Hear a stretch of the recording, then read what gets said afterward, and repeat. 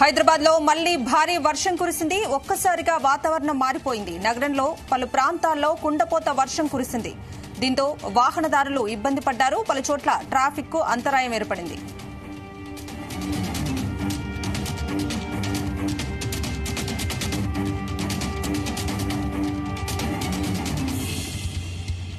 ఇవాళ నుంచి సెప్టెంబర్ ఇరవై ఎనిమిది వరకు హైదరాబాద్ నగరంలో సాయంత్రం రాత్రిపూట వర్షాలు కురిసే అవకాశం ఉందని వాతావరణ శాఖ హెచ్చరించింది. ఇక రాష్ట్ర వ్యాప్తంగా ఉరుములు మెరుపులతో కూడిన వర్షం కురిసే అవకాశం ఉందని తెలిపింది. పలు జిల్లాలకు ఎల్లో అలర్ట్ను జారీ చేసింది. ప్రజలు అప్రమత్తంగా ఉండాలని సూచించింది.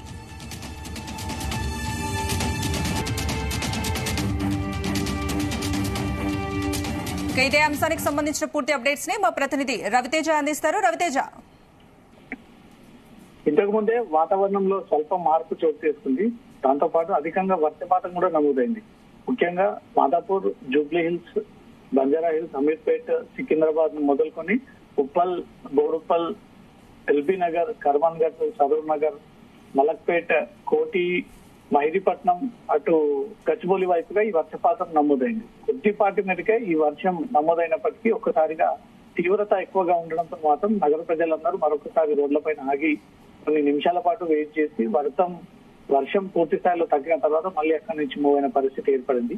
ఈ రెండు మూడు రోజుల్లో ఈ రకమైనటువంటి వర్షం ఉంటుందనేది మాత్రం ఇప్పటికే వాతావరణ శాఖ అప్రమత్తం చేయడం జరిగింది. రానున్నది గణేష్ నిమజ్జనం సందర్భంగా రోడ్లపైన వాటర్ ఎక్కడెక్కడ నిలిచి ఉంటే మాత్రం కాస్త ఇబ్బంది ఏర్పడేటువంటి అవకాశం ఉంటుంది కాబట్టి ఇప్పటికే హెచ్ఎండిఏ జిహెచ్ఎంసి మిగతా డిఆర్ఎఫ్ సిబ్బంది అందరిని కూడా అప్రమత్తం చేసి ఎక్కడ కూడా రోడ్లపైన వాటర్ నిలవకుండా మ్యాన్ హోల్స్ని ఓపెన్ చేయకుండా చెట్ల కొమ్మల కారణంగా రోడ్డు పైన ఇబ్బందులు ఏర్పడకుండా ఇవన్నీ తగిన జాగ్రత్తలు తీసుకోవాలంటూ కూడా ఇప్పటికే వాతావరణ శాఖ ఆదేశాలు కూడా జారీ చేయడం జరిగింది. ఈ రెండు మూడు రోజుల పాటు స్వల్పంగా వర్షపాతం నమోదయ్యేటువంటి అవకాశాలు ఉన్నాయంటూ కూడా వాతావరణ శాఖ ఇప్పటికే అలర్ట్ చేయడం జరిగింది.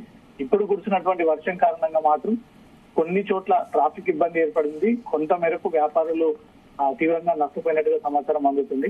ఎందుకంటే దీనిపై ఇప్పటికే వాతావరణ శాఖ ఎలాంటి అప్రమత్తం ఇవ్వకపోవడము దాన్ని దృష్టిలో పెట్టుకోకుండా నగర ప్రజలందరూ రోజువారీ జీవనంలో భాగంగానే ఈ రోజు కూడా ఆ రకంగానే ఉండడం ఒకసారిగా వర్షం కురడంతో మాత్రం కాస్త ఇబ్బంది ఏర్పడింది. ట్రాఫిక్ కూడా అంతరాయం ఏర్పడింది. ట్రాఫిక్ కొన్ని కూడళ్ళ వద్ద కూడా ఎక్కడికక్కడ నిలిచిపోవడం ఎందుకంటే ఫ్లైఓవర్ కిందిగా వర్షం పడకుండా వాహనదారులందరూ ఫ్లైఓవర్ కిందికి చేరడంతో అక్కడ వన్ సైడ్ ట్రాఫిక్ జామ్ ఏర్పడినట్టుగా మాత్రం తెలుస్తుంది. ఇప్పటికి వర్షవాతం పూర్తిగా తగ్గిపోయింది కాబట్టి వాహనదారులు అక్కడి నుంచి నెమ్మదిగా వారి వారి కార్యాలయాలకు ఇంటికి చేరుకుంటా ఉన్నారు కాబట్టి ఇప్పుడు ట్రాఫిక్ క్లియరెన్స్ అవుతుంది కొన్ని పంజగుట్ట ప్రధాన రహదారిపై మాత్రం ఇంకా ట్రాఫిక్ అంతరాయం అయితే ఏర్పడింది. నెమ్మదిగా ట్రాఫిక్ పోలీసులు అయితే రంగంలో క్లియరెన్స్ చేస్తా ఉన్నారు. ఈ మూడు రోజుల పాటు తేలికపాటి వర్షం ఉండేటువంటి అవకాశాలు ఉన్నాయంటూ కూడా ఇప్పటికే వాతావరణ శాఖ ఈ అలర్ట్ కూడా జారీ చేయడం జరిగింది.